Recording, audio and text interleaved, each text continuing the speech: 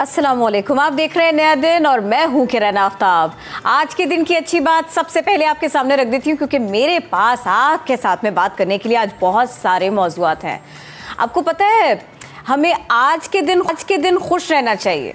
जिस वक्त में हम हैं, हमें उसमें जीना चाहिए। हमें ऐसा क्यों करना चाहिए? क्योंकि यही हमारा काम है। आज के दिन में खुश रहिए, कल की फ़िक्र ना कीजिए। बहुत ज़्यादा फिक्रें ऑलरेडी हमारे पास हैं, लेकिन चलिए कुछ कुछ सोल्यूशंस भी तो हमारे पास हैं तो हम उनकी बात भी करेंगे। इतने इंपॉर्टेंट होते हैं जिसम को किन मसाइल का सामना होता है अगर प्रोटीन्स की कमी हो जाए। इंसान के जिस्म को रोज़ाना की बुनियाद पर किस कदर प्रोटीन्स की ज़रूरत होती है? आज शो में हम इस पर तफसील के साथ में बात करेंगे। बहुत इंपॉर्टेंट टॉपिक है मिस नहीं कीजिएगा आप।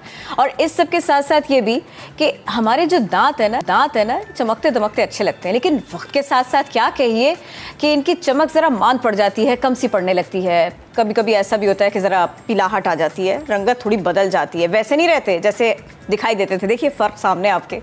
तो ये एक मामला है कि दांत आपके रहे चमकदार, वैसे ही बिल्कुल सफ़ेद सफ़ेद से, सेहतमंद रहें। सिर्फ़ दिखने में नहीं अच्छे हों, वो साथ भी चलें आपके। तो हम आज इस मौजू के ऊपर भी बात करेंगे। बहुत इंपॉर्टेंट है ना?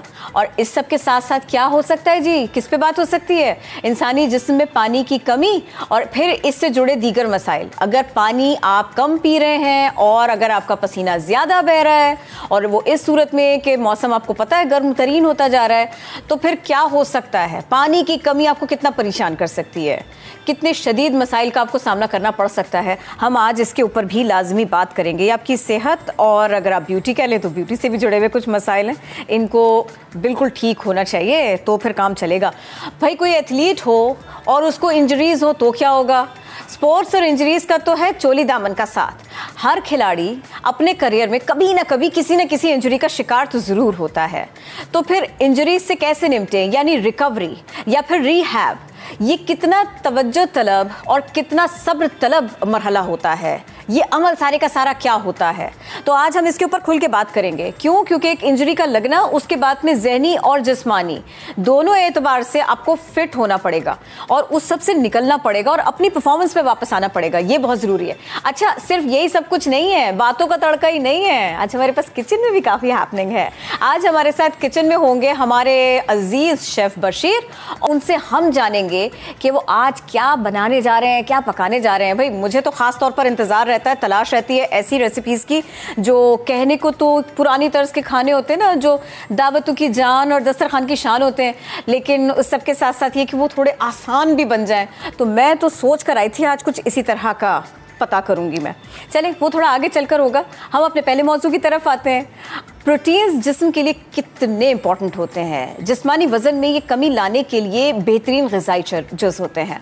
क्योंकि इससे ना होता ये है कि पेट ज़्यादा देर तक भरा रहता है, जबकि प्रोटीन्स जिस्म के लिए इजाफी चर्बी के जो ज़ख़ीरे हैं ना, इसको भी मुश्किल बनाता है। मगर इस सब इस सबसे हट कर भी इंसानी जिस्म के लिए जो उसकी वर्किंग है ना, उसके लिए प्रोटीन्स की अहमियत बहुत ज़्यादा है। जिस्मानी वज़न में कमी मसल्स का बनना और फिर दीगर बातें भी हैं जिसके लिए प्रोटीन्स की बहुत ज़रूरत होती है। तो जनाब इंसान के जिस्म को रोज़ाना की बुनियाद पर कितने प्रोटीन्स की ज़रूरत होती है? इसको हम किस तरह से इस, इस हमारी बॉडी बन रही होती है इन प्रोटीन्स की वजह से? तो इससे जुड़े बहुत सारे सवाल होते हैं। तो वो सिर्फ़ सवाल ही नहीं होते उनके जवाब भी होते हैं। इसी सब के ऊपर बात करेंगे। हमको ज्वाइन कर रही हैं इसी बारे में बात करने के लिए माहिर गजाइयत जवेरिया महमूद। जवेरिया महमूद वालेकुम कैसी हैं आप? बहुत शुक्रिया आप हमें वक्त दे रही हैं। अल्लाह का शुक्र आई एम गुड आप कैसी हैं? खैरियत से how's everything everything is good लेकिन आज मुझे लगता है कि हमें प्रोटीन के ऊपर ख़ास तौर पर आपसे बहुत सारे सवाल करने चाहिए क्योंकि इसके ऊपर मालूम के लिए बहुत ज़रूरी है। तो आप जी सबसे पहले तो ना आप हमारे नाजरीन को थोड़ा सा ये समझाइए प्रोटीन्स ह्यूमन बॉडी के लिए इंसानी जिस्म के लिए कितने इम्पोर्टेंट हैं? जी प्रोटीन्स इंसानी जिसम के लिए इंसानी सेहत के लिए बहुत ही ज़रूरी होते हैं। वैसे तो बेसिकली दो तरह के प्रोटीन्स होते हैं जिसमें हमारे पास एनिमल प्रोटीन होते हैं जो हम एनिमल सोर्सेज से लेते हैं यानी जानवरों से और हैवानाती प्रोटीन लेते हैं। सेकेंड वन होता है प्लांट प्रोटीन जो कि हम प्लांट सोर्सेज से लेते हैं यानी पौधों से राइस नाच से और इसके अलावा जो है पल्सेस लेग्यूम्स यानी दालें और लोबिया वगैरह या इस तरह की जो चीज़ें उससे। तो डिपेंड करता है कि आपकी जो बॉडी है उसमें कोई मतलब प्रोटीन डेफिशिएंट तो नहीं है? या जैसे अब छोटे बच्चे हैं तो वो भी आ, कुछ लोग गोश्त नहीं खाते कुछ लोग जो है दालों का सब्जियों का प्रोटीन में प्रोटीन एज अ सोर्स इस्तेमाल नहीं कर पा रहे होते। तो उसमें जो है human body protein calorie well nourished यानी प्रोटीन डेफिशिएंसी हो जाती है। और प्रोटीन डेफिशिएंसी हो तो किसी और जो प्रॉब्लम है वो बॉडी में होने के खदशात होते हैं। अच्छा इससे पहले कि हम प्रॉब्लम्स की बात करें पहले आप ये बताइए कि एक इंसानी जिस्म को कितने प्रोटीन्स की ज़रूरत है? बड़ों की बात कर लेते हैं फिर बच्चों की बात करते हैं। बिल्कुल आप ये देखिए कि जो ह्यूमन बॉडी है नेचुरल ह्यूमन बॉडी है जब आप पैदा होता है बच्चा तो वो मदर्स मिल्क पर होता है और उसमें भी कैसीन की प्रोटीन की और कैल्शियम प्रोटीन की एक खास अमाउंट होती है जो कि रिकमेंडेड होती है। पर with the passing years passing time जो ह्यूमन बॉडी है क्योंकि हमारी बॉडी को मसल्स फॉर्मेशन के के साथ साथ एनर्जी रिक्वायरमेंट और उसके अलावा अलावा तो ह्यूमन बॉडी के अंदर जो हमारी जो जिसम होता है उसके अंदर जो चीज़ें बनती हैं या टूट रही होती हैं उसमें हमें बहुत ज़्यादा प्रोटीन की साथ साथ ज़रूरत रहती है।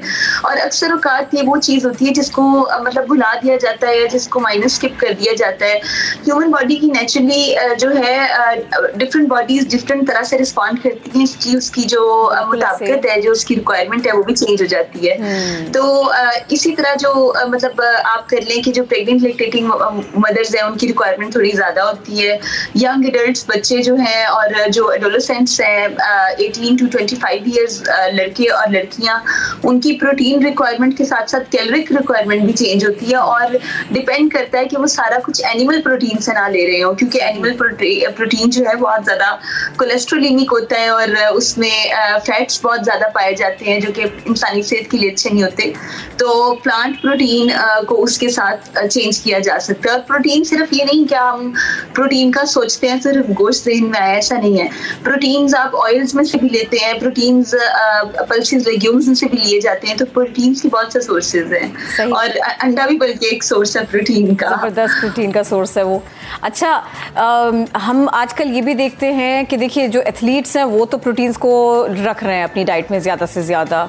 या जिम जा रहे हैं उस हिसाब से बॉडी बिल्डिंग वगैरह कर रहे हैं वहाँ पर भी प्रोटीन्स का है। तो ये बताइए कि अगर चोटें लग रही हैं तो उसमें भी आप प्रोटीन को थोड़ा सा ज़्यादा अपनी डाइट में इंक्लूड करें, उसका इम्पैक्ट आता है? अच्छा इम्पैक्ट आता है उसका?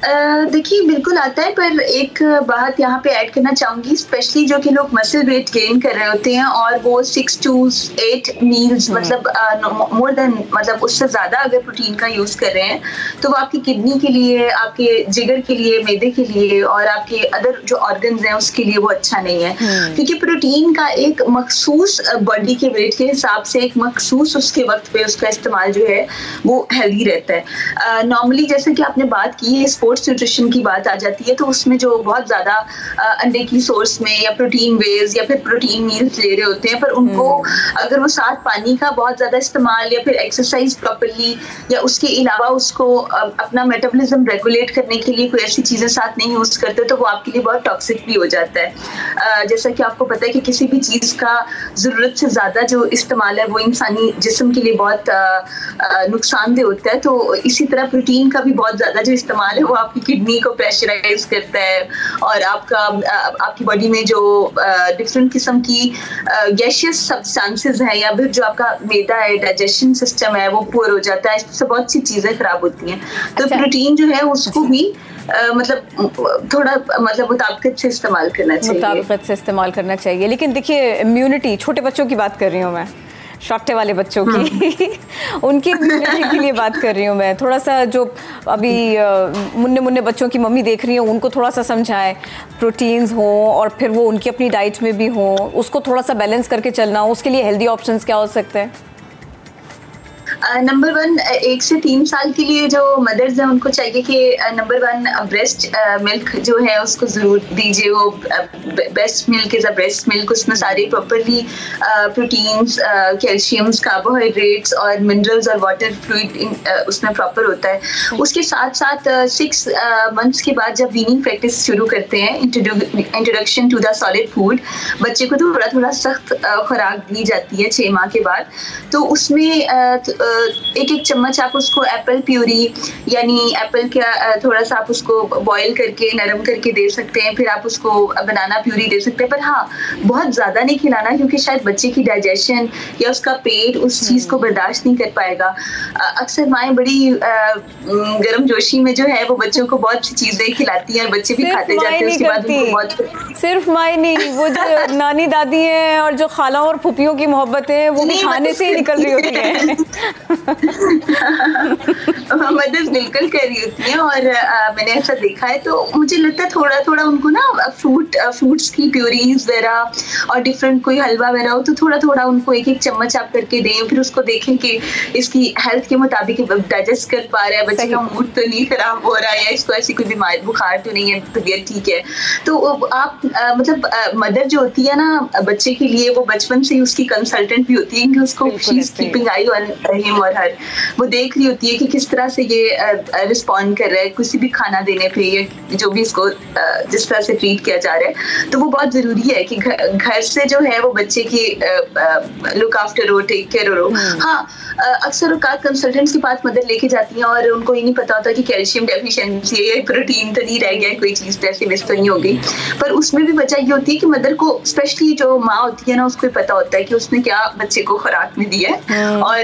और किस चीज़ की डेफिशिएंसी होगी? अगर थोड़ा बहुत नॉलेजेबल है थोड़ा अवेयरनेस है तो उनको इस चीज़ का आइडिया होता है। जी जी पर जो कंसर्ट करना डिफरेंट किस्म के सोशल मीडियम्स हैं we can trust them because हमें नहीं पता होता कि उस पर किस किस्म की रिसर्चेस मतलब उस पर तो बच्चे को ये भी लिख कर दिया जाता है पाइनएप्पल दे दें। जबकि वो पाइनएप्पल डाइजेस्ट ही नहीं कर सकता वो है तो उसमें तो बहुत सी ऐसी चीज़ें भी होती हैं। हम्म। जी नहीं इट्स बेटर टू कंसर्न और ये खुद से अगर देख रहे हैं नॉलेज बढ़ा रहे हैं वो एक बिल्कुल अलग बात है। चलिए ये मैंने बिल्कुल मान लिया समझ लिया आपकी बात।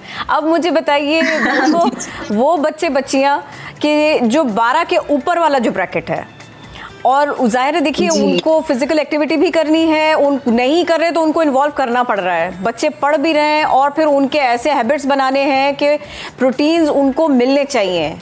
तो अब आप उसके लिए थोड़ा सा हेल्प कीजिए। उसके लिए यह है कि school number one school going होते हैं और उसकी उनकी बहुत फिजिकली हाइपर एक्टिव भी होते हैं। साथ साथ कॉग्नेटिव डेवलपमेंट पढ़ने की सलाहियत भी आपकी तभी अच्छी होती है जब बच्चे का प्रोटीन लेवल अच्छा होता है। हम्म। सिर्फ़ प्रोटीन नहीं प्रोटीन के साथ साथ अपने फ्लूड इनटेक और उसको थोड़ा सा आपने चैनलाइज करना मील प्लान बच्चे का बनाना है उसको थोड़ा सा अवेयरनेस गाइडेंस देनी है।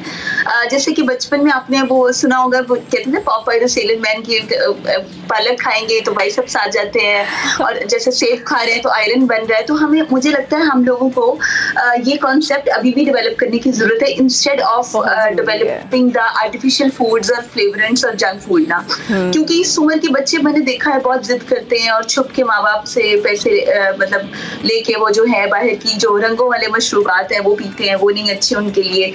उससे उनका कद भी रुकता है उनकी कॉग्नेटिव डेवलपमेंट्स भी रुकती हैं और वो वैसे परफॉर्म ज़िंदगी में नहीं कर पाते हैं। और जहाँ तक हमने प्रोटीन की बात की है तो ब्रेकफास्ट में जैसे अंडा मुकम्मल गज़ा है, कभी आप उसको ब्रेकफास्ट में आप उसको अंडा दे दीजिए, कभी आप मतलब जो खातन है, माए हैं, कभी वो पॉरेजेस भी ऐड कर सकती हैं। तो सॉरी वो कभी पॉरेजेस भी ऐड कर सकती हैं और हैं, और पॉरेजेस के बाद जो है, उसके बाद फ्रूट्स आप दें, फिर लंच बॉक्सेस जो हैं, वो घर का बना खाना हो, उसमें कमर्शलाइज फ़ूड कोई ना हो, क्योंकि अगर आप बच्चों को कमर्शियल खाने देंगे तो आप कमर्शियल बच्चा जनरेट करेंगे, आप कोई नेचुरल बच्चा जनरेट नहीं कर अब बताइए इसका क्या तो हो सकता है? वो पराठा भी बाहर वाला चाहिए।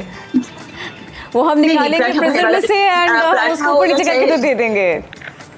हम बड़े हो गए अंडे पराठे तो ले जाते थे देखिए हम लोग खुद आ, मुझे याद पड़ता है कि अचार पराठा और इस तरह की चीज़ें जो होती थी हम उससे खुद ग्रो हुए हैं और आ, कोई ना कोई ग्रेवी प्योरी या साथ एग्स और थोड़ा बहुत फ्रूट होता था। तो मतलब आ, और स्कूल से वापस आने के बाद में जब लंच में थोड़ा टाइम होता था तो गर्म गर्म चपाती के ऊपर वो अच्छा सा घी और खूब चीनी भर के हाँ, मैंने बहुत खाया है। आज भी एग्जैक्टली तो आपके साथ बातें करके मज़ा आ रहा है मुझे। बच्चे नखरे भी नहीं कर रहे होते थे। अब तो बच्चे तंग बहुत करते हैं कि जंक फ़ूड है। अक्सर मदर्स पिक करती हैं तो रास्ते में कहते हैं कि वो चीज़ लेनी है वो चीज़ लेनी है। हम्म। और कार्बोनेटेड बेवरेजेस है तो वो हेल्दी नहीं है ना। बिल्कुल भी है। अच्छा मदर्स को खुद भी पता होता है। माओ को पता होता है फादर्स को भी पता होता है कि ये ना अनहेल्दी फ़ूड जो है कंज्यूम कर रहे हैं। पर आप कोशिश ये करें कि क्योंकि आप बच्चे जो है इस कॉम के मेहमान हैं हमारा फ्यूचर है और नेशन बिल्डर्स हैं उसमें लड़कियाँ भी शामिल है लड़के भी शामिल है। तो अगर उस एज पे स्टेज पे उनका हेल्थ का ख्याल नहीं रखा जाता तो वो उस तरह से ग्रो और ग्रोथ नहीं होगी प्रोग्रेसिव नहीं होंगे हाइट का मसला उसके अलावा आपको पता है अक्सर मदर्स को होता है तीन चार साल का बच्चा या दस ग्यारह साल का बच्चा इसकी हाइट नहीं बन रही बाकी क्लास के बच्चों में से छोटा है। हम्म। इस तरह की बातें अक्सर चीज़ें चल रही होती तो वो उसकी वजह भी यही है कि जब आप मतलब अक्सर बच्चे आपको पता है खाने में से मटर निकाल देंगे गाजर निकाल देंगे। हम लोग यहाँ पे कह के थक जाते हैं कि सब्ज़ियाँ खाएँ उसमें प्रोटीन है और पिज्जा को भी चुन चुन के खाते हुए उसके ऊपर से भी मैंने चुन चुन हाँ, निकाल के खाते हुए देखा है। कि उसकी आप खाने में से कार्बोहाइड्रेट पीछे छोड़े चीज़ें की तो वो जब निकाली बेसिक चीज़ें दी तो फिर आपके आपने क्या उसमें से गेन करना है ना? तो ये बड़ा ये सब आप बहुत कम की बात है हर चीज़ खाएँ। हर हर चीज़ खाएँ क्योंकि अल्लाह की नेमत है और बच्चों के लिए भी है कि आपको किसी भी किस्म की सब्ज़ी आपको नहीं, नहीं, तो आपने बहुत अच्छा बताया। पेरेंट्स आदत डालेंगे बच्चों की तो फिर जो है ना वो बात हाँ, आगे बढ़ेगी। खुद भी खाएँ बच्चों को आदत तो डालनी पड़ती है चाहे फिर आपको थोड़ा गुस्से से करके डालनी पड़े या फिर थोड़ा सा सख्ती से करना पड़े तो वो तो करना पड़ता है। जी। Javeria thank you so very much आप इस अहम मौजू पर हमसे बात कर रही थी। बेहद शुक्रिया। जल्दी से एक ब्रेक लेते हैं, हमारे साथ रहिए। वेलकम बैक फिटनेस क्या है? फिटनेस सकत और क़वत है, जो बहुत ज़रूरत होती है, वक्त के साथ ही इस्तेमाल होती है। एक आम आदमी की नस्बत, खिलाड़ी में ये सलाहियत बेहतर तौर पर मौजूद होती है। जहाँ स्पोर्ट्स की बात हो रही है तो वहाँ इंजरीज तो लाजमी होती हैं। अब इन इंजरीज से कैसे रिहैब किया जाता है? कितना मुश्किल होता है किसी भी खिलाड़ी के लिए वो मरहला कि जब उसे इंजरीज दरपेश आए, फिर इंजरीज के बाद वो दोबारा अपनी कारकर्दगी और उसी एनर्जी में वापस आए। इन्हीं सारे के सारे मौजूद पर बात करेंगे। हमारा साथ दे रहे हैं, हमें ज्वाइन कर रहे हैं sports physician doctor Imad Ahmed Sahib, जो स्पोर्ट्स एंड मेडिसिन और इसके अलावा फ़ंक्शन अलावा फंक्शनल रिहेबिलिटेशन में महारत रखते हैं। अस्सलाम डॉक्टर साहब कैसे हैं आप? वालेकुम सलाम जी मैं बिल्कुल ठीक हूँ। आप कैसी हैं? अल्हम्दुलिल्लाह। सर बहुत इंपॉर्टेंट टॉपिक था और हमें लगा कि आपसे बेहतर तो इसके ऊपर हमें कोई बता नहीं सकता समझा नहीं सकता। ये बताइए ये जो खेल के दौरान चोटें लग जाती हैं इसकी वजूहत क्या होती हैं? Thank you very much for inviting me first of all मेरा अपना ज़ाती ख्याल ये है जो मैंने एक्सपीरियंस के साथ ऑब्ज़र्व uh, किया है कि स्पोर्ट्स इंजरीज जो हैं इनके मल्टीपल फैक्टर्स होते हैं। uh, सिर्फ़ एक चीज़ पे आप उसको आ, बेस नहीं कर सकते। जो इनके मेन फैक्टर्स हैं उनमें सबसे पहले है कि मसल ग्रुप्स जो होते हैं different muscle groups for example bowler batsman इनके मसल ग्रुप्स होते हैं। उनमें स्ट्रेंथ इक्वल नहीं होती। hmm. तो ऐसा मसल ग्रुप जिसमें स्ट्रेंथ थोड़ी कम होती है उसके ऊपर जब दूसरा मसल अपनी स्ट्रेंथ को एक्सर्ट करता है तो इंजरी होने का ख़तरा होता है। ये तो एक बेसिक सी चीज़ है। उसके अलावा जो एक बहुत बेसिक प्रिंसिपल है, वह वार्म अप का और वार्म डाउन का। कि जब भी आप कोई एक्सरसाइज या जब भी कोई आप ट्रेनिंग शुरू करते हैं तो आपको सबसे पहले वार्म अप करना चाहिए। और वो वार्म अप बड़ा स्ट्रक्चर्ड तरीके से, बड़े अच्छे तरीके से होना चाहिए। जिसमें ड्रिल्स होती हैं मुख्तु स्पोर्ट्स की मुख्तु ड्रिल्स होती हैं। उसके अलावा जो एक बहुत इंपॉर्टेंट चीज़ है, जो मैं कभी कभार महसूस करता हूँ कि मुख्तफ सेटिंग्स में क्योंकि मैं यूके में भी काम करता हूँ मैं साउथ अफ्रीका में भी काम कर चुका हूँ मैं मिडल ईस्ट में भी काम कर चुका हूँ और ये पाकिस्तान में मैंने रिसेंटली अपना एक क्लिनिक खोला लाहौर में तो यहाँ पे वार्म डाउन्स का जो एक कॉन्सेप्ट है वो नहीं है हम्म। तो होता ये है कि जब आप एक्सरसाइज करते हैं या कोई फ़िज़िकल एक्टिविटी करते हैं तो आपके जिसम के अंदर आप समझ वेयर एंड टेयर के साथ कुछ टॉक्सिन्स होते हैं जो वार्म डाउन के साथ क्लियर हो जाते हैं ब्लड स्ट्रीम से अदरवाइज़ वही इंजरी का बायस बनते हैं. इसके अलावा जो एक और बड़ा कॉमन फैक्टर है जो अगेन मैं पाकिस्तान में बहुत ज़्यादा ऑब्ज़र्व करता हूँ वो है कि they are too many gyms बहुत ज़्यादा जिम्स खुल गए हैं बहुत सारे पर्सनल ट्रेनर्स हैं लेकिन अनफॉर्चुनेटली साइंस जो अप्लाई होनी चाहिए जिस तरह से टेक्निकली अप्लाई होनी चाहिए वो अभी तक नहीं हो रही। तो थोड़ी इनकरेक्ट एडवाइस की वजह से लोग इंजरीज का आ, सामना करते हैं क्योंकि पर्सनल ट्रेनर्स जो हैं उनकी अपनी नॉलेज जो है थोड़ी सी पुअर है स्पेशली एनाटमी और मसल के बारे में जॉइंट्स के बारे में लिगामेंट्स के बारे में। तो वो आमतौर पर इस तरह की चीज़ें अपने ट्रेनर जो ट्रेन करने आते हैं उनको करवा देते हैं कि उससे इंजरी होने का ख़तरा होता है। मैंने अपनी प्रैक्टिस में बहुत लोग देखे हैं इस वक्त बहुत यंग बच्चे हैं जिनके स्पाइन के फ्रैक्चर्स हुए हैं जिनके मुख्त किस्म के प्री मेच्योर इंजरीज हुई हैं just because of the fact के उनके जो ट्रेनर्स थे उनको इतना ज़्यादा एनाटमी की नो हाउ नहीं थी. और उन्होंने उनको बहुत ज़्यादा पुश किया and that has ended up with an injury तो इसके अलावा एक और बड़ी इंपॉर्टेंट चीज़ है वो है सर्फिसेस आप किस जगह भागते हैं किस जगह रन करते हैं? फॉर uh, एग्ज़ाम्पल एक ग्राउंड रिएक्शन फोर्स होती है जो एक रिकॉयल है जो ग्राउंड से आता है every time you run every time you walk ये सबसे कम होता है ट्रेडमिल uh, के ऊपर.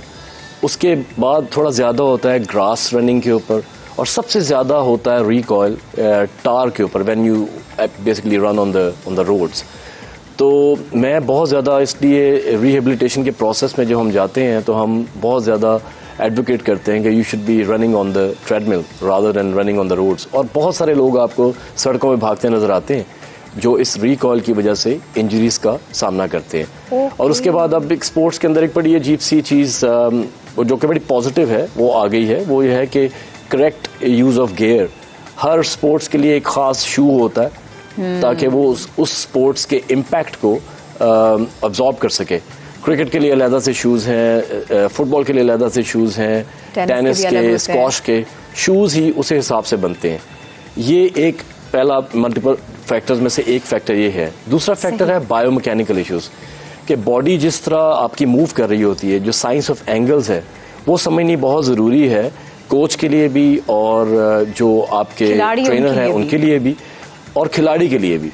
और स्पोर्टिंग एक्शन बहुत इंपॉर्टेंट है कि, कि किस तरह से आप भाग रहे हैं किस तरह से स्पेशली बॉलर्स के लिए कि जब वो अपना फुट लैंड करते हैं बॉल करते हुए कि वो किस जगह पे लैंड करें उनका पाँव सीधा है थोड़ा सा टेढ़ा है क्योंकि इसकी वजह से उनको नी की इंजरीज होने के ख़तरे होते हैं जिसमें लिगामेंटस इंजरीज बहुत कॉमन है।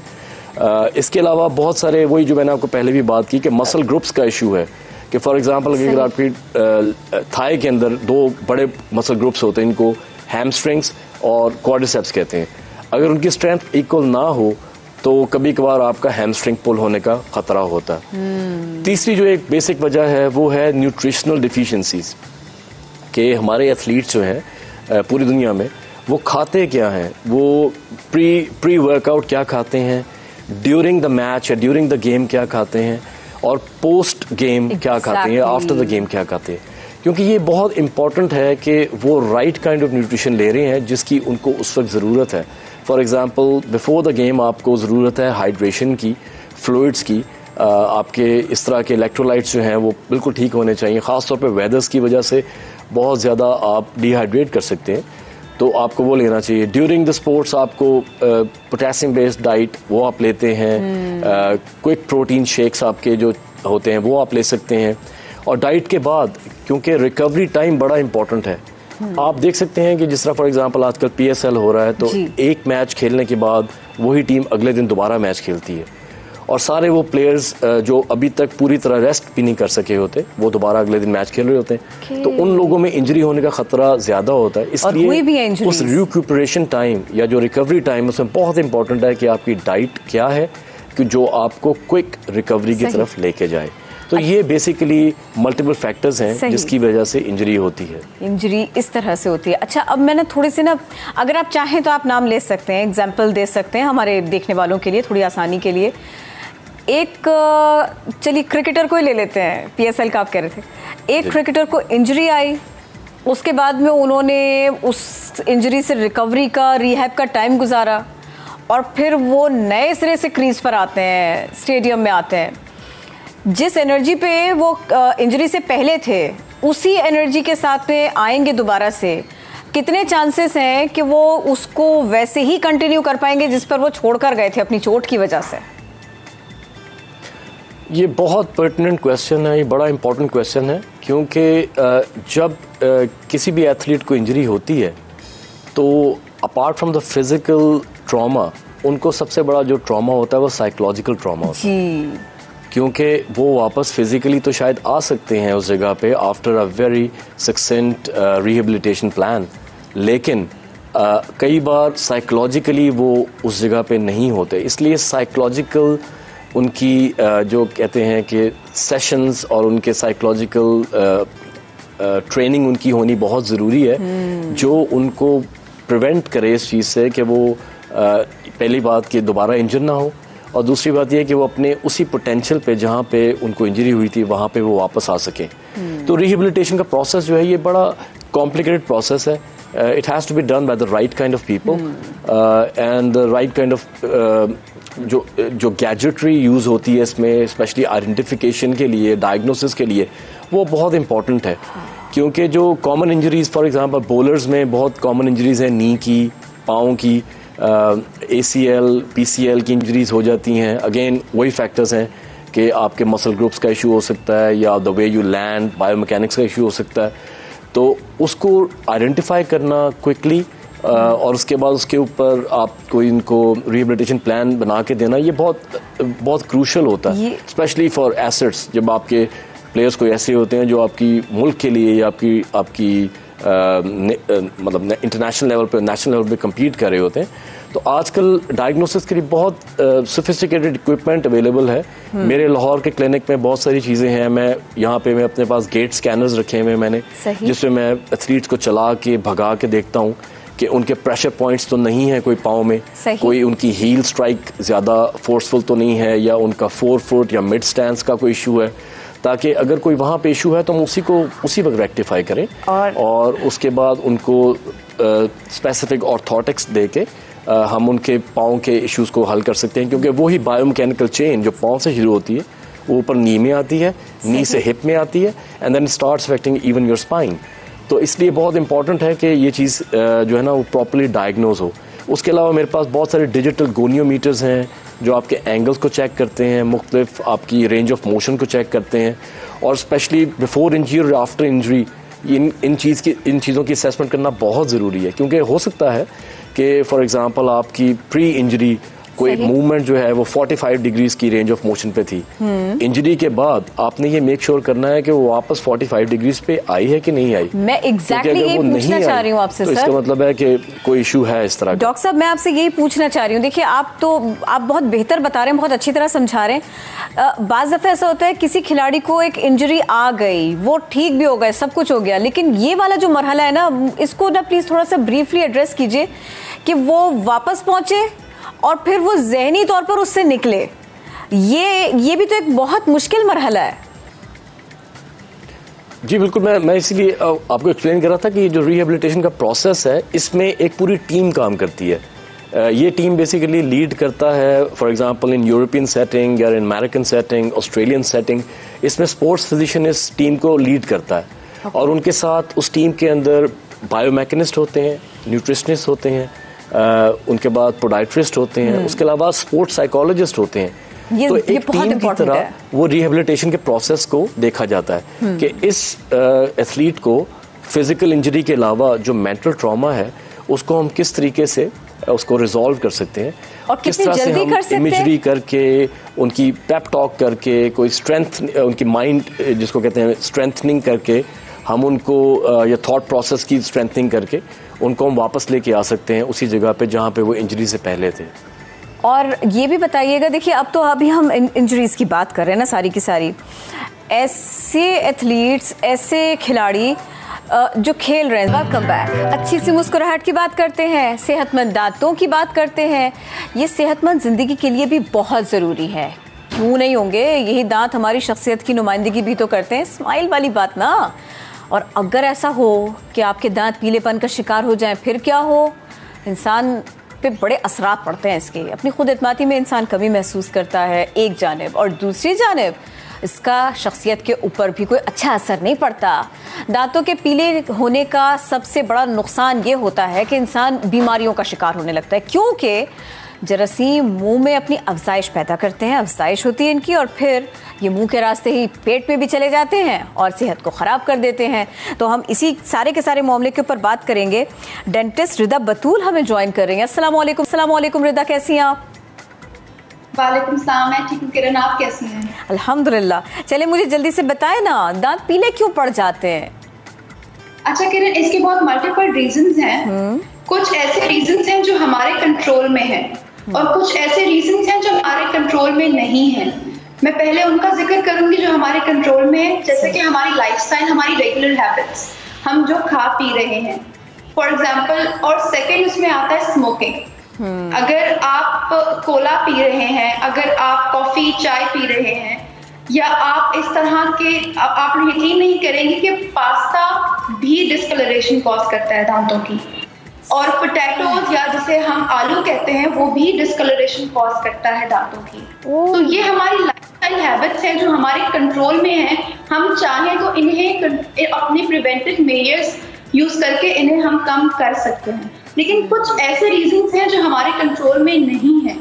जैसे कि सबसे बड़ी प्रॉब्लम है डेवलपमेंटल। जब मदर्स जो है वो एक्सेप्ट कर रही होती हैं या एक्सपेक्ट कर रही होती हैं तो उस दौरान वो कुछ ऐसी मेडिकेशन ले रही होती हैं जैसे कि टेट्रासाइक्लिन है या डॉक्सीसाइक्लिन है हम्म। उसकी वजह से बच्चों की इनेमल डेवलपमेंट या डेंटिन डेवलपमेंट अफेक्ट होती है और जेनेटिकली उनके जो दांत है वो पीले होते हैं। अभी बच्चे के कंट्रोल में नहीं है।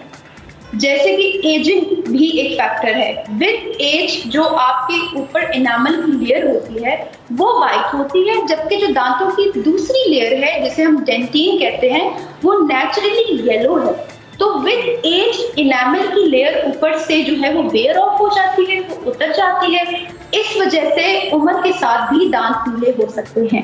इसके अलावा जैसे जो कैंसर पेशेंट्स होते हैं, वो कीमोथेरेपी या रेडिएशन के जरियों से गुजर रहे होते हैं तो उनके भी दांत जो है वो पीले हो जाते हैं। हम्म।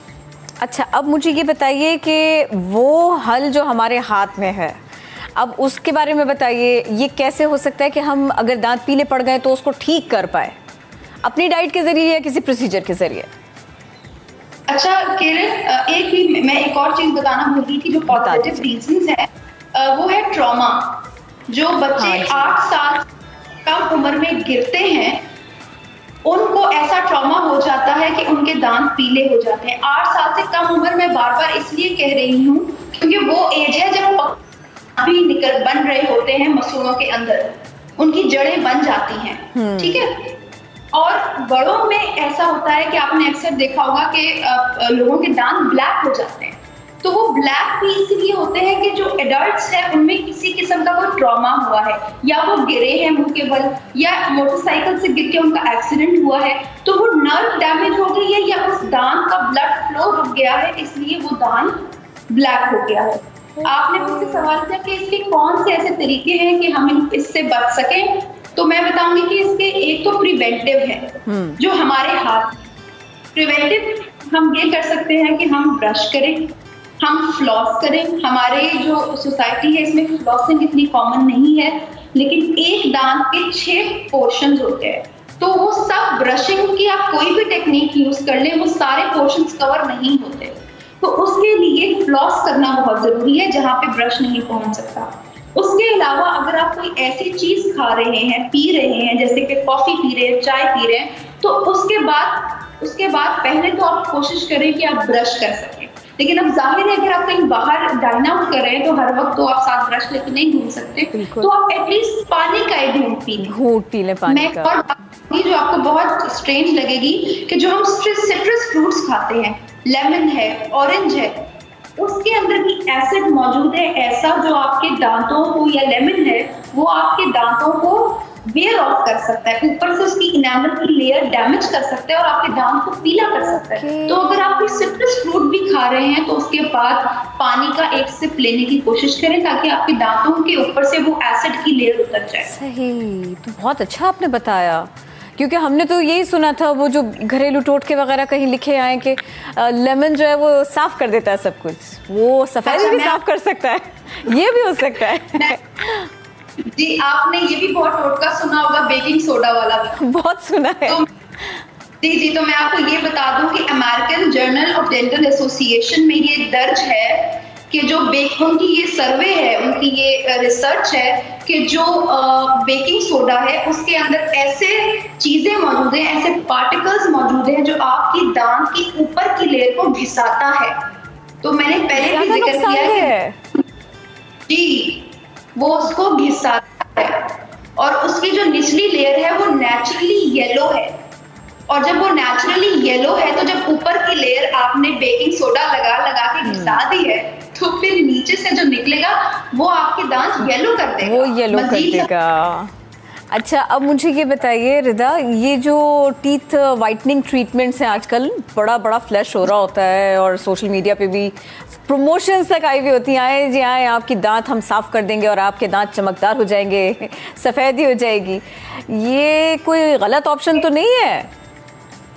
अच्छा ये दो हैं वाइटनिंग ट्रीटमेंट्स एक है ओवर द काउंटर जिसे हम कहते हैं कि वो आपको आप जाएँगे किसी भी फार्मेसी पे तो वो आपको over the counter whitening strips दे देते हैं. या आजकल वो आपने देखा होगा सोशल मीडिया पे एक ब्रश चल रहा है जो ऐसे मुँह में लगा लेते हैं. ठीक है?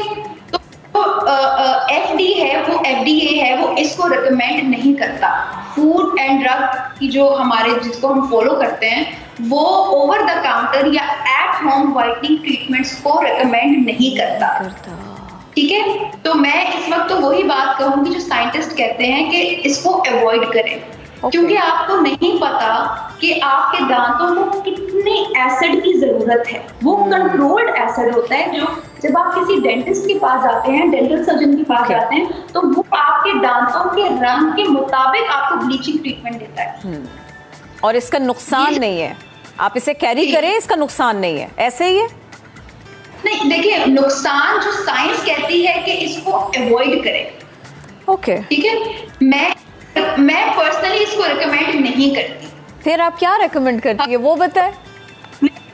मेरी सबसे पहले तो आप अगर इसको प्रिवेंटिवली हैंडल कर रहे हैं तो ठीक है लेकिन अब अगर वो येलो हो गए हैं अब वो क्योंकि अब वो आपकी उससे सर्कल से अब वो बाहर है तो प्लीज़ जाके एक दफ़ा डेंटल सर्जन से आप मशवरा कर लें। अगर वो आपको ओवर द काउंटर या घर में वाइटिंग ट्रीटमेंट करने की इजाज़त दे रहा है तो ज़रूर कीजिए। या अगर उसको लगता है कि नहीं आपको एक डेंटल केयर की ज़रूरत है तो फिर वाइटनिंग ट्रीटमेंट आप उनसे करवाएँ। लेकिन हमेशा याद रखें कि वाइटनिंग से पहले स्केलिंग ज़रूरी होती है। स्केलिंग ज़रूरी है। स्केलिंग आप खुद घर पे नहीं कर सकते। जब आप स्केलिंग घर पे नहीं कर सकते तो फिर आप वाइटनिंग घर पे कैसे करेंगे? वो भी वहीं से कंसल्ट करें। जी मेरी यही रिकमेंडेशन है कि आप कोशिश करें कि over the counter whitening treatments को अवॉइड करें। एक आप हर छह महीने बाद डेंटल सर्जन के पास जाएँ अपॉइंटमेंट लें उनसे रेगुलर चेकअप करवाएँ और एटलीस्ट एटलीस्ट अगर आप ओवर द काउंटर या घर में वाइटनिंग ट्रीटमेंट्स करवा कर भी रहे हैं तो फिर भी स्केलिंग करवाएँ जाके पहले डेंटल सर्जन से। उसके बाद फिर आप over the counter whitening strips या वाइटनिंग जो ब्रशेज आते हैं उनका इस्तेमाल करें। अच्छा अब आपने कोई ट्रीटमेंट्स ले लिए हैं दांतों के लिए? फॉर एग्जांपल आपने रूट कनाल करा लिया है। इस तरह के एक दो ट्रीटमेंट आपने कराए तो उस सूरत में भी कब कब जाना चाहिए? ये भी बता दें आप साथ में ना कितने कितने टाइम के बाद में जाना चाहिए? और फिर आम दिनों में आपको क्या एहतियात बरतनी चाहिए? हम सफ़ेद दांत की बात तो कर रहे हैं लेकिन सेहतमंद दांत भी बहुत ज़रूरी है। किरण किसी भी अगर आपके बिल्कुल हेल्दी दांत है हंड्रेड परसेंट आपको पता है कि आपको कोई प्रॉब्लम नहीं है। तो मैं ये कहती हूँ कि इतने ब्लड प्रेशर और डायबिटीज़ या शुगर के मरीज़ नहीं है जितने दांतों के मरीज़ हैं। और लोग तो जाते भी नहीं है। कॉन्सेप्ट ही नहीं है कि लोग जाया करें डेंटिस्ट के पास ये बहुत ज़रूरी है। कि वो समझते हैं कि शायद ये कोई लग्जरी है या ये कोई ज़रूरी बात नहीं है और जब बिल्कुल दांत खत्म हो जाता है और वो गिरने पे आ जाता है और रातों की नींदें हराम होती हैं दर्द से फिर वो डेंटिस्ट के पास जाते हैं। ये सही प्रैक्टिस नहीं है। हमें हर छह महीने बाद every six months dental surgeon को दिखाना चाहिए ताकि हमें पता चले कि हमारे दांतों की क्या सूरत हाल है। और ये जो चार साल छः साल वाले बच्चे हैं छोटे वाले बाज बाज बच्चों के दांतों में कीड़े भी लगे हुए होते हैं। अब उनका क्या कर सकते हैं? अभी दांत टूटा नहीं है और उसमें कीड़ा लग गया है। उसके लिए बता दें मुझे आप जल्दी से। जी किरण हमारे पास ऐसे बहुत से केसेस आते हैं बच्चों के जिनकी सिचुएशन जो है वो बहुत ज़्यादा जो है वो अनकंट्रोलेबल होती है और बच्चे ज़्यादातर जो है वो हमारे साथ अ, जो है वो नहीं पार्टिसिपेट कर रहे होते क्योंकि ज़ाहिर है बच्चे हैं वो डेंटल सर्जन को देख के हमारा सेटअप देख के हमारी चेयर देख के डर जाते हैं। तो अगर तो वो बच्चे का दूध का दांत होता है तो हमारी यही कोशिश होती है कि वो ब्रूफन वगैरह हम उनको दे के या पेन किलर दे के थोड़ा टाइम निकाल लें क्योंकि बच्चे जो हैं वो नहीं कॉम्प्रोमाइज कर रहे होते हमारे साथ हम्म। तो फिर हम यही एडवाइस करते हैं कि अगर तो वो जो डैमेज है वो दूध का दान डैमेज है तो फिर उसको खुद गिरने दिया जाए ओके okay. बहुत शुक्रिया रिदा बतूल आप हमारे साथ ही इस अहम मौजू पर बात कर रही थी अब एक और अहम मौजू भी है गर्मियाँ आ नहीं रही, बल्कि आ गई हैं। माहौलियात की तब्दीली के असरात की वजह से अब गर्मियों के मौसम में शदीद गर्मी पड़ती है और कभी कभी तो दर्जा हरारत आपकी तो से कहीं ज़्यादा बढ़ जाता है। ऐसे आलम में ख़ुद को पानी की कमी का शिकार होने से बचाए रखना बहुत ज़रूरी होता है, क्योंकि गर्मियों के मौसम में बार बार पसीना आता है, जो जिसम से नमकियात के अखराज का बायस बन जाता है, और इससे आप बीमार भी पड़ सकते हैं। जी, बिल्कुल। तो गर्मी के मौसम में ख़ुद का ख्याल रखें तो भला कैसे? इसी के ऊपर बात करेंगे हर्बलिस्ट बिल्किस शेख हमारे साथ हैं। तो उनको हेलो करते हैं और उनसे सलाम करते हैं। अस्सलाम वालेकुम कैसी हैं आप? बिल्कुल ठीक ठाक आप कैसी हैं? अब, अभी तक तो ठीक हूँ मैं लेकिन मुझे लगता है मेरे साथ भी खुदा ना खास्ता कहीं ऐसा नहीं हो जाए। बहुत सारे लोग भी इसीलिए बहुत कंसर्न है। गर्मी बहुत ज़्यादा है पसीने आ रहे हैं बार बार और पानी नहीं पिया तो गए। ऐसे ही है? बिल्कुल ऐसे ही है क्योंकि देखिए पसीना जब आएगा तो फिर उसके लिए आपको फिर मिनरल्स की भी ज़रूरत होती है। हम्म। पानी में भी मिनरल्स होते हैं। तो पानी नहीं तो फिर आपको जो है ना यूटीआई यानी यूरिनरी ट्रैक इन्फेक्शंस भी हो जाते हैं। फिर किडनी का भी मसला आ जाता है। बहुत सारे मसाइल जो है ना वो आ जाते हैं। सही। उसके हल सिर्फ़ ये है कि आप दिन में सात से आठ ग्लास पानी तो पिए। इतना तो कर लें। अच्छा जो सबसे ज़्यादा इम्पेक्ट आता है ना पानी की कमी का वो मेरे ख्याल से आता है स्किन पर ही है। डिहाइड्रेशन होती है तो स्किन पर ओवियस आता है। क्या क्या हो सकता है? लाइंस आ जाती हैं या क्या होता है? थोड़ा सा बताएँ। ना सिर्फ़ लाइंस आती हैं एक्नी पिंपल्स आ जाते हैं डिहाइड्रेशन हो जाती है तो ज़ाहिर सी बात है आप, आपकी एज साइन ज़्यादा आ जाते हैं रिंकल्स आ जाते हैं। ऑयली स्किन हो, चाहे आपकी मिच्योर स्किन हो। डिहाइड्रेशन की वजह से ना एज साइन बहुत जल्दी आ जाते हैं। इसके लिए ये नहीं होता है कि आप कितने साल के हैं। हम्म। आप 16 साल के हो या आप 60 इयर्स के हो तो उसके आपकी स्किन जो है ना बहुत ज़्यादा सैगी हो जाती है। सैगिंग बहुत जल्दी आ जाती है जैसे ढल रही हो बिल्कुल ढल रही हो वो और फिर आ, कुछ की बहुत ज़्यादा अगर ड्राई हो जाती है तो फिर आपकी खुश्की आने लगती हैं। हम्म। कुछ की जो है ना आप ये नहीं होता कि एक्नी पिंपल्स जो है ना सिर्फ़ आपके ऑयली स्किन पर होंगे वो ड्राई स्किन पर भी होते हैं। अच्छा। और उनको ट्रीट करना बहुत मुश्किल होता है और ये जो पोर्स हैं ये बड़े हो जाते हैं। लार्ज पोर्स हो जाते हैं पोर्स इसका भी इससे ही थोड़ा थोड़ा सा कनेक्शन है क्या? देखिए जब स्किन की बीमारियाँ आती है तो हर कुछ होने लगता है। सब कुछ होने लगता है। जब से ज़ाहिर सी बात है जब आपकी स्किन अपनी इलास्टिसिटी जो है ना वो छोड़ देती है जो हम्म। उसकी कॉलेजन है वो ऐसा लगता है जैसे ख़त्म होने लगा है। तो उसके बाद तो एज साइन जल्दी आते हैं। और इसके लिए हमेशा हर किसी डर्माटोलॉजिस्ट का या हर्बलिस्ट का जो भी स्किन का केयर करते हैं या स्किन के लिए ट्रीट करते हैं वो हम्म। यही बताते हैं कि आपने पानी ज़्यादा पीना है। लेकिन इसका हरगिज से मकसद नहीं कि आपने लीटर्स लीटर्स पीना है। कुछ लोग ऐसे होते हैं वो कहते हैं कि हम तो जो है ना चार लीटर पीते हैं पाँच लीटर पीते हैं। किडनी को फिर मतलब कि जहाँ कमी से आप बीमार होते हैं वहाँ बहुत ज़्यादा ज़्यादती हो जाए। तो भी जो है ना प्रॉब्लम्स प्रॉब्लम्स आ सकते हैं। अच्छा फेस की स्किन के इश्यूज़ अलग हैं पानी की कमी की वजह से। और क्या स्काल्प की स्किन के ऊपर ये जब के सर की स्किन है इसके ऊपर भी थोड़ा सा फ़र्क पड़ता है? तो अगर तो ये ऑयली हो गई स्किन या ड्राई हो गई और वैसे ही सिलसिला आपके सर की स्किन तक जाने लग गया फिर ये वाली सिचुएशन भी थोड़ी सी ख़राब होने लग जाती है? जी बिल्कुल। असल में क्या है? स्किन जो है हमारा लार्जेस्ट ऑर्गन है। तो ये आपके सर की स्किन हो आपकी बॉडी की स्किन हो या आपके हाथों की स्किन हो या हम्म। आपके चेहरे की स्किन हो। मुतासर तो हर बिल्कुल। स्किन हो रही है ना? हाँ। तो हर जगह की हो रही होती है। तो इससे अगर ड्राई होने लगता है तो आपके बाल बहुत गिरने लगते हैं। बाल गिरने लगते हैं। बहुत ज़्यादा गिरने लगते हैं। अच्छा ड्राइनेस की वजह से भी गिरने लगते हैं। ऑयली सीबम ज़्यादा आ रहा हो तो भी बाल गिरने लगते हैं। ऐसे ही है। दोनों तरह से जो है ना बाल गिरना शुरू हो जाते हैं। हम्म। अच्छा अब हम इसके थोड़े से सोल्यूशंस के ऊपर भी बात कर लेते हैं। पहले आप मुझे ना ड्राई स्किन के बारे में बताएँ। ऐसी स्किन जो ड्राई है और फिर उसके बाद में आपने पानी भी ठीक से नहीं पिया पसीने भी आपको आते रहे फिर जो प्रॉब्लम्स आए अब उसको सही कैसे करें?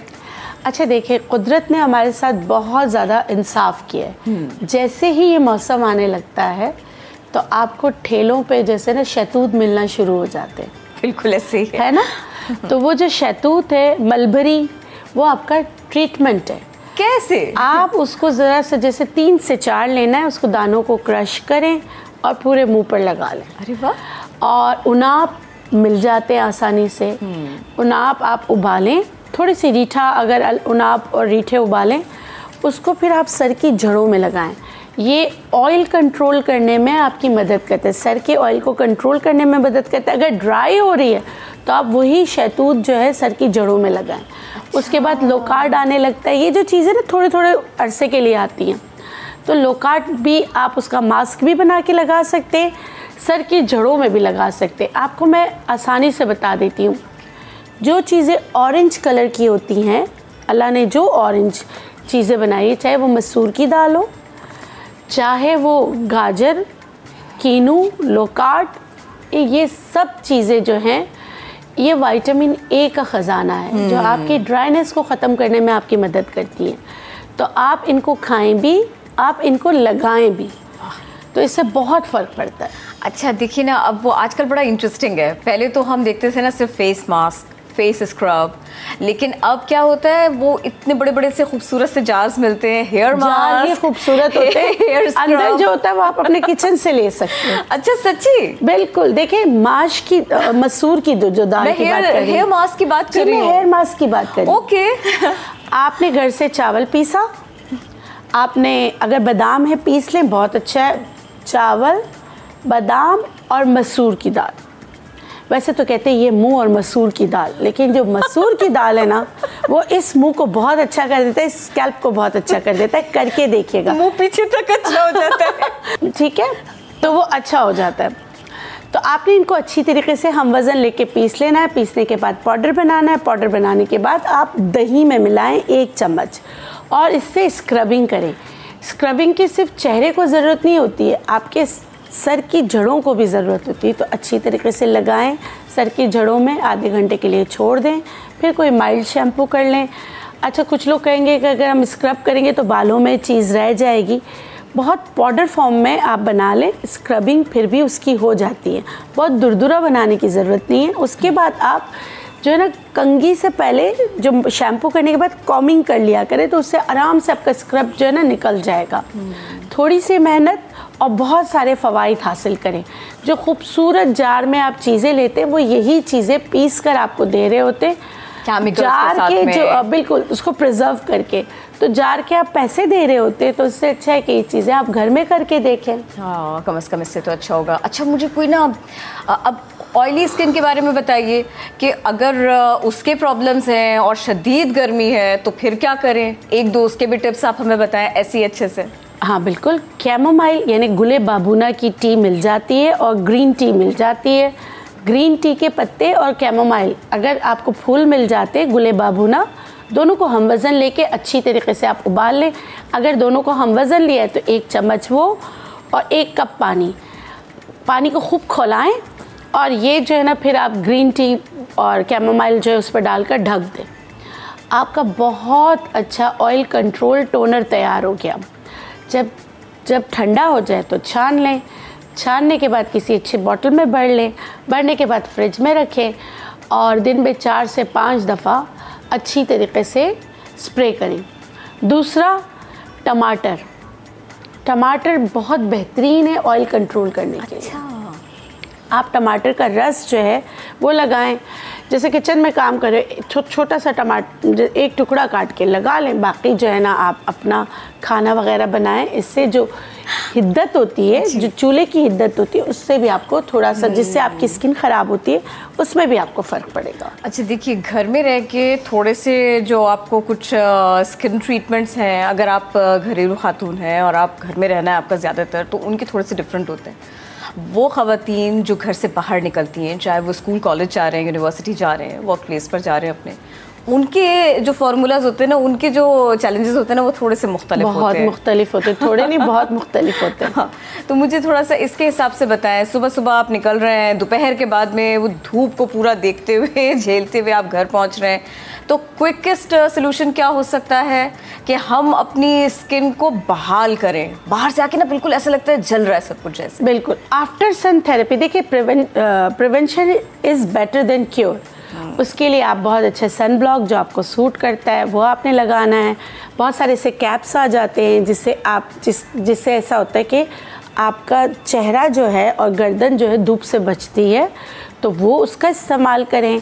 आप आफ्टर सन थेरेपी क्या है? आफ्टर सन थेरेपी में मैंने अपनी ज़िंदगी में दो से तीन चीज़ें हैं जिनको बहुत बेहतरीन पाया है उसमें है खुबानी। दो सूखी खुबानी आप दूध में भिगो कर चली जाएँ सुबह। जो भी जो वर्किंग लेडीज़ हैं और मेरे भाई हैं जो स्कूटर पे घूमते हैं उनके भी आधे चीज़ें अलग अलग हो जाती हैं वो सब के लिए। है उसके बाद जब आप घर में आकर मुँह धोने के बाद फिर आप ये जो भिगोया हुआ है वो बिल्कुल उसको ना मैश कर लें। हाथ के अंदर। हाथ से मैश करके मिल्क के साथ इसको एक्सपोज्ड एरिया पे लगाएँ। आधे घंटे के लिए या पंद्रह मिनट के लिए छोड़ दें। उसके बाद ठंडे पानी से चेहरे को और जो एक्सपोज्ड एरिया में आपने लगाया है उसको धो लें। ये इसको कहते हैं आफ्टर सन थेरेपी यानी कि यूवी रेजेस की जो डैमेजेस हैं उससे बचाने में ये टोटका जो है, ये रेमेडी है। टोटका तो ऐसा ना, लग गया तो तीर, नहीं तो फकीर। लेकिन ये रेमेडी है। इस रेमेडी से आप अपनी यूवी रेजेस से, जो आपकी स्किन ख़राब हुई हुई होती है, उसको सही करने में ये रेमेडी आपकी मदद करता है। और मुझे बताए ना, वो जो पैरों के ऊपर आ जाते हैं मार्क्स आ जाते हैं धूप के सॉक्स पहनना तो लाजमी है, वो अवॉइड नहीं कर सकते। पैरों के लिए भी यूज़ कर सकते हैं इसको। जी बिल्कुल कर सकते हैं। आपको ये नहीं कहे कि ये नहमतें पाँव पे कैसे लगाएँ। ट्रीटमेंट के तौर पे treatment कर सकते हैं इसको। बिल्कुल कर सकते हैं। डॉक्टर बिल्कीस बहुत शुक्रिया आपने हमें वक्त दिया और इतनी सारी चीज़ें इतनी जल्दी और बड़े अच्छे मुहावरों के साथ वेलकम बैक तो मैं किचन में आ चुकी हूँ शेफ बशीर के पास। अस्सलाम वालेकुम वालेकुम सलाम कैसे आप?